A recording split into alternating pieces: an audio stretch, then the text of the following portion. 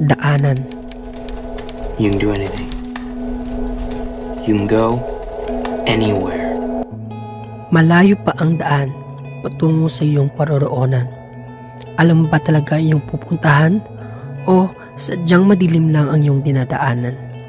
Huwag mong guluhin ang iyong isipan. Kahit anong pang emosyon ang iyong nararamdaman, huwag kang kabahan.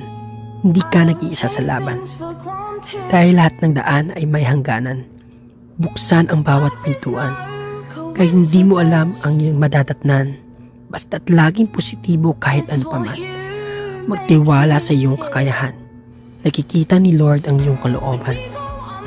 Patuloy sa pag-awa ng kabutihan. Yun ang magagamit mong panglaban. Kaya mo yan.